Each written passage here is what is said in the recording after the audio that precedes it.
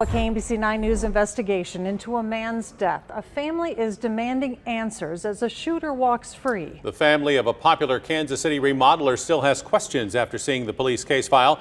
John Bartrom died in January at a BP station at 63rd and Prospect. Investigative reporter Matt Flener got the case file through an open records request. Matt. Chris Laura, you'll remember Jackson County prosecutor uh, Jean Peters Baker declined to file charges in this case. She said the shooter fired in self defense using the Castle Doctrine as uh, impetus here. Now, we understand more of what the shooter told police.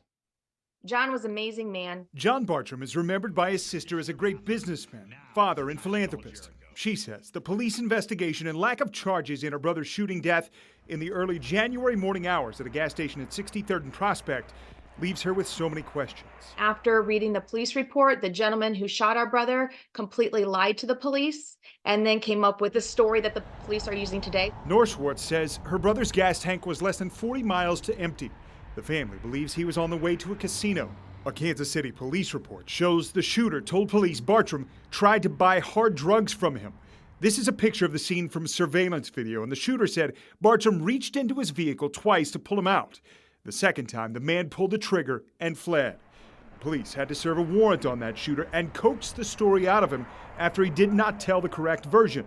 Bartrom's sister says the case just doesn't add up. If we're claiming self defense, his actions don't show me that he was defending himself. He never once came to the police. The police had to find him. He lied initially. He was hiding evidence that the police had to find. All right, so again, this case all hinges on Missouri's Castle Doctrine, which says you have the right to defend your life in your home or your vehicle. Bartrom's sister also told us an autopsy showed no drugs in Bartrom's system, Chris. All right, Matt, thanks. We reached out to the Jackson County prosecutor today, but have not heard back.